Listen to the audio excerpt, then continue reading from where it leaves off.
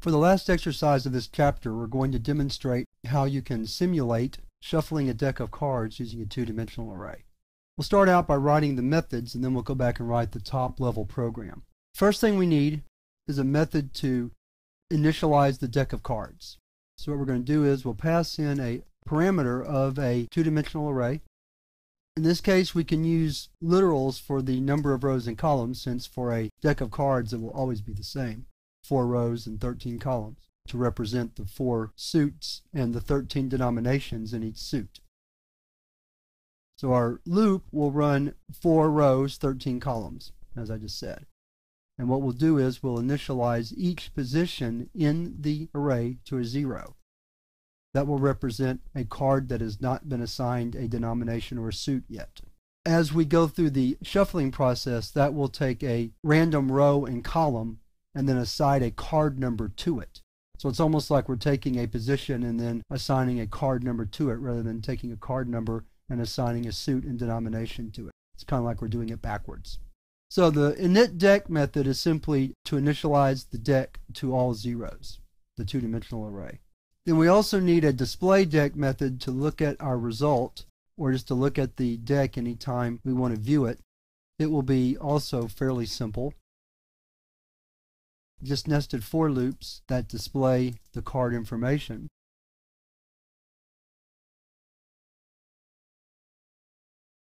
And that's just a console write with the array element and a space. And then a console write line when we're finished with one row or suit to take us to the next suit or row. So those are the two simple methods. Now all of the really hard work will come in this third method, which we're going to name shuffle deck. It also will take a two-dimensional array as its argument or parameter. So we're going to start off with two variables for a row and column. Then we're going to create a random number generator. Then we begin a loop. This loop is going to represent each card in the deck. So we're going to go from 0 to 51 to represent the 52 cards. First thing we do is we generate a suit and they can be in any order you want. We are not representing the order here. You can start with hearts, diamonds, then clubs and spades, or you can start the other way around. It doesn't matter. That's not the point here. Then we generate a random number to represent a denomination. And again, there is no necessary stating of the rank from low to high. So ace could be low or ace could be high. Of course, we know that the other cards are already in their order. And then a program that used this deck would have to make that determination. So then, after we've generated a random number for the row and the column, then we check to see if that position is open. In other words, is its value equal to zero? If so, then it can be assigned the card value. So for example, if we hit row 2 and column 2 and it's equal to 0, then that's going to be the first card in the deck. It just depends on what the random number generator generates.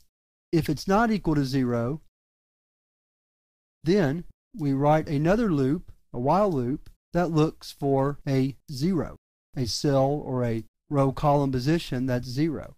And to do that, we generate random numbers again. And then when we get to a row column that is equal to zero, we assign it that card value. And that should take us through the program. So once again, there's the shuffle deck method.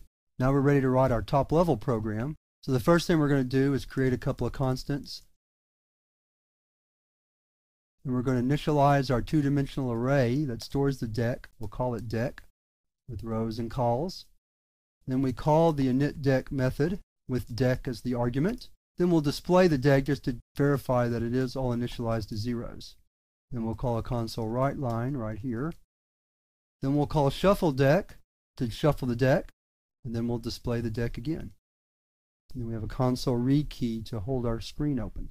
So that's it. Again, let me emphasize how using methods makes your main program so clean and easy to read. And that's one of the reasons we write methods to start with, is to make the main program easy to read so that we can ignore details if we don't care about them. Then if we care about them, we simply scroll down to the method definitions and take a look. All right, so let's run the program. There's our initialized to zero deck and then here's our deck with the 52 cards assigned. So row 0, column 0 is card 1. So that can be a two of hearts or however you want to start with the denominations and suits, and that would be how it works. Let's do it one more time. Just to see that we'll get a different deck every time we shuffle. And then let's do it a third time just to verify. So this is a very good example of how to use a data structure such as a two-dimensional array in a quote-unquote real-world program or in a real-world situation, shuffling a deck of cards. And with that, we've finished this chapter on arrays and we're ready to move to the next chapter where we talk about different alternative control flow structures you can use in C Sharp.